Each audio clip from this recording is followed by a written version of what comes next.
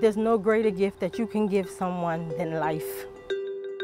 Marcus went to his God's parents' house for the weekend, and that Sunday, his godmother called me. They were on their way to church, and she called me and told me he wasn't feeling good, so she was going to bring him home.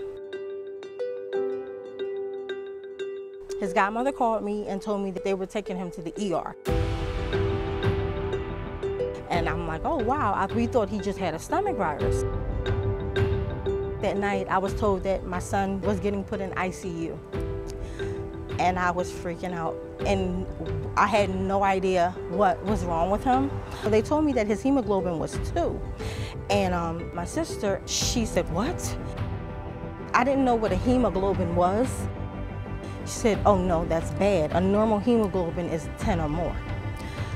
So of course I panicked. The next morning I had a conversation with the doctor. She informed me that they wanted to test him to see if he had leukemia my heart dropped.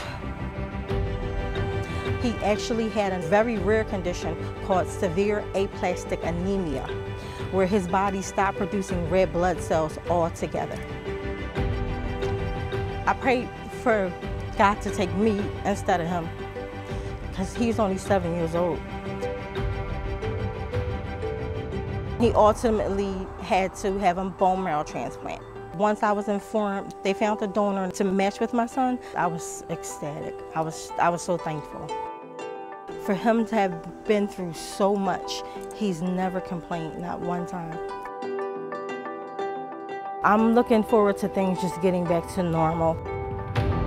If it was not for gift of life and the donor, I, I'm getting, they saved my son's life. They saved my son's life. And I thank them so much. I thank them so much. And I can't wait to meet this donor. You are our angel. There's no greater gift in life. None. None.